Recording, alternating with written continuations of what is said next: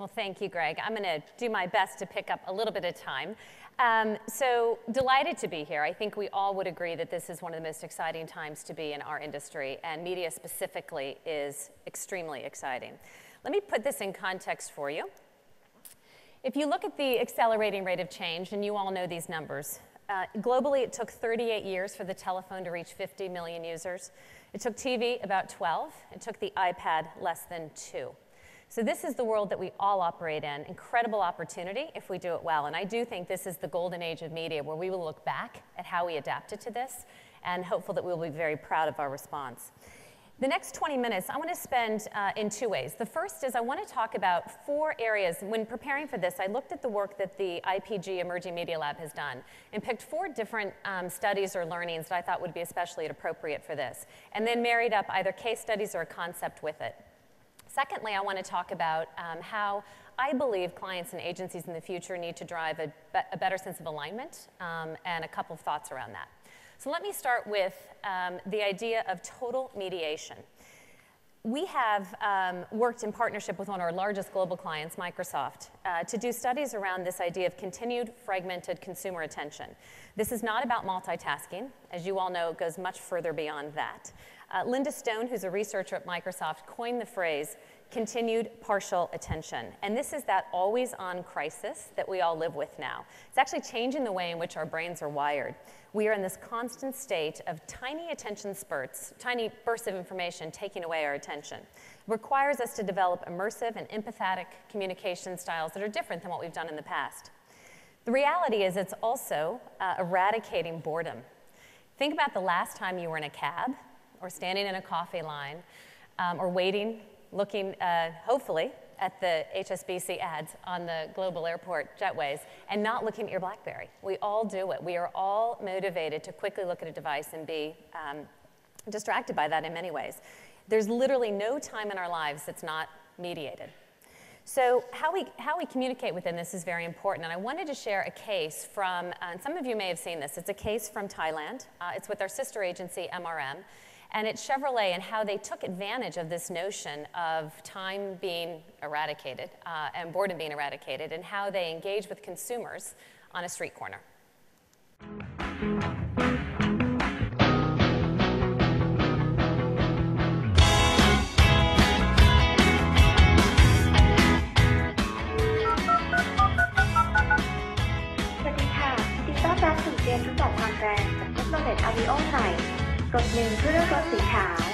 กดสองเพื่อเลือกรถสีดำกดสามเพื่อเลือกรถสีฟ้า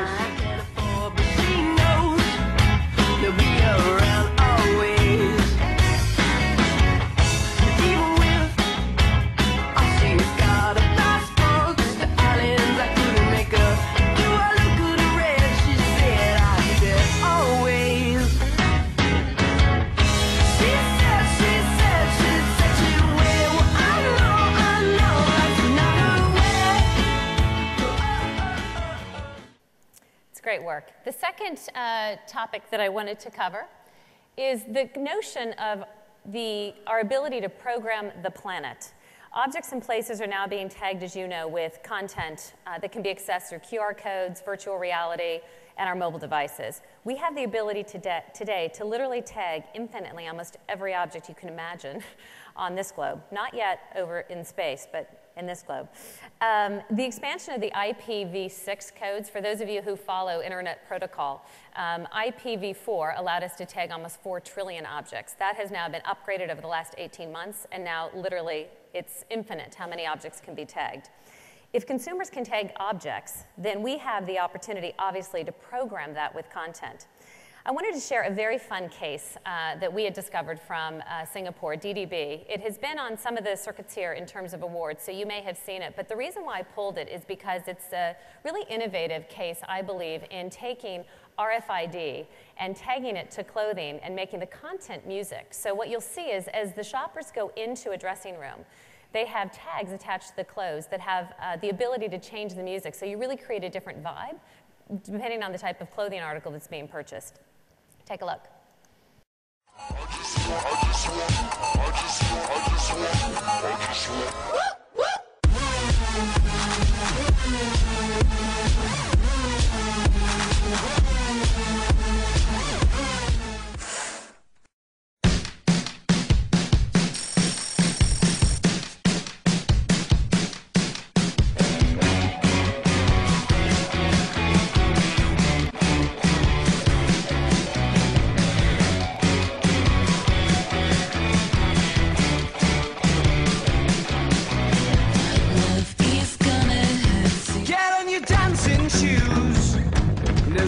On, you.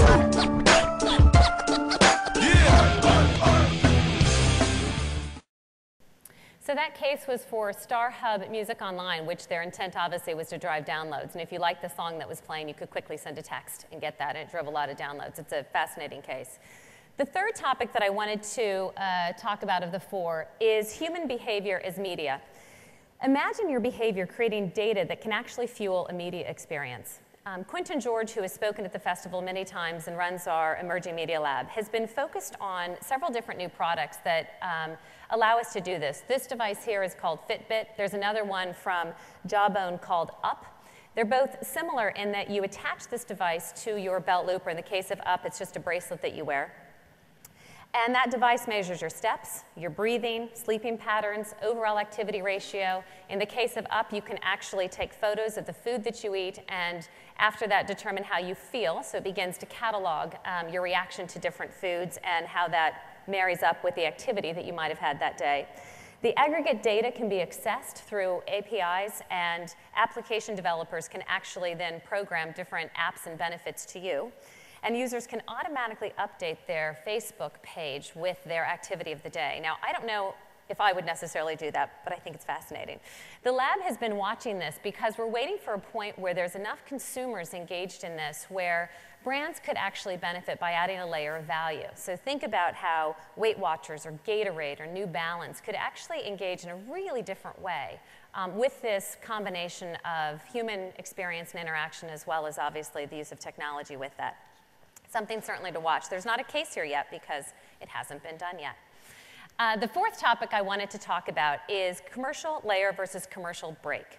This is one of the lab trials that we did in the past year where we wired 50 people with biometric trackers and we watched their behavior as they viewed uh, typical commercials. Not surprising, this won't surprise any of you. We found that uh, in a fully mediated world where they have lots of devices at their fingertips as they watch, they tend to switch gears when the commercial break comes.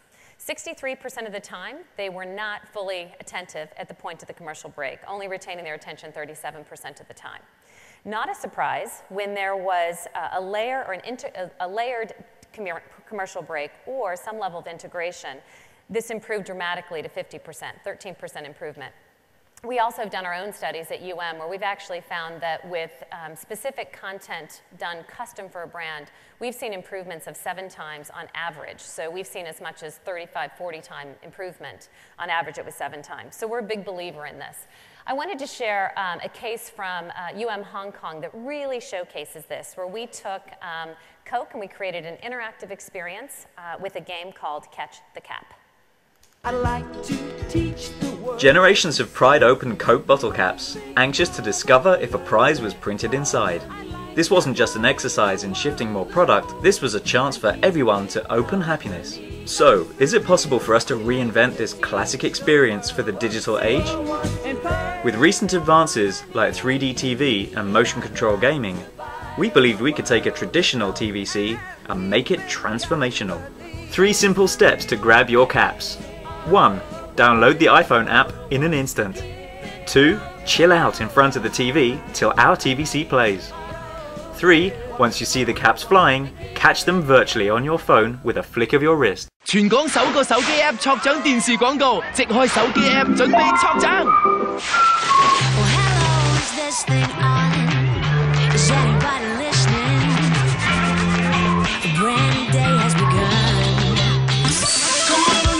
Thanks to smartphone sound detection and accelerometer technology, we launched Hong Kong's first commercial that actually let you catch Coke bottle caps out from the TV. Use your phone app to catch tumbling caps and win instant prizes, discounts, mobile games, exclusive virtual collectibles. Possibly the world's most advanced integration of digital with TV. The campaign was supported by a wide range of channels, including cinema, outdoor TV, MTR poster, magazine, ads in search engine and social media. It was a smash. The app hit the number one download spot in the charts just 15 hours after launch. Within five weeks, the app had been downloaded over 390,000 times. And the game had been played up to 9 million times with daily plays of up to 400,000. You can imagine how many people got to see our TVC. Online social discussion increased by 218%. Penetration of Coca Cola among teens increased from 78% last year to 83%. Opening happiness at ever greater heights.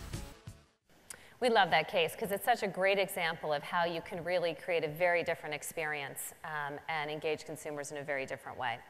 So those are the four topics I thought would be helpful to put some context around continuous partial attention, programming the planet, human behaviors, media, and then that commercial layer versus the commercial break. I want to now talk about, um, you know, as fundamentally as consumers are changing, it obviously requires us as agency partners and clients to operate differently as well. And in some cases, I find our assembly lines are a little bit dated. You know, you think about the need to respond as quickly as we want to, and, and in some cases, our processes and our planning time leads simply don't allow that. So I wanted to focus on some of the things that we are doing at UM in order to improve that. And for me, it falls under a very powerful headline of alignment. And there's two ways I wanted to talk about that. The first is alignment with our consumers. So the idea of the perfect alignment with audience, message, and medium.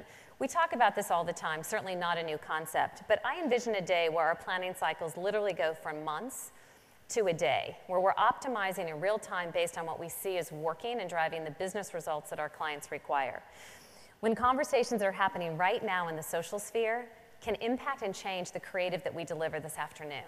That's for me what, what is where we need to be heading.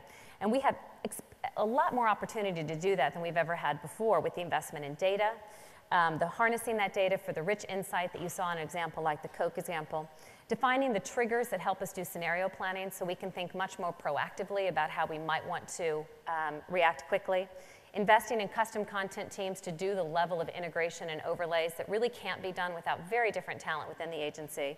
And then obviously measuring everything we do in order to determine how it's driving those business results. This investment leads me to my second point, which is alignment of goals uh, with clients and ultimately with media owners.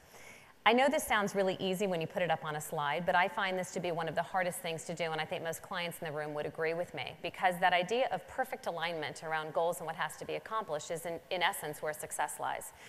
Typically, agencies have a portion of their incentive obviously tied to uh, results, but in my opinion, that those items are typically softer metrics than what we can ultimately strive for. They tend to be around agency evaluation and upper funnel metrics. It's my hope at UM that we push that a lot further and we tie to very specific business outcomes like share in sales. Last year, we worked with McKinsey to do a lot of benchmarking across a lot of different industries in order to find where the best practices were and where the different models were. We looked at everything from construction to hedge fund managers to legal firms and everything in between.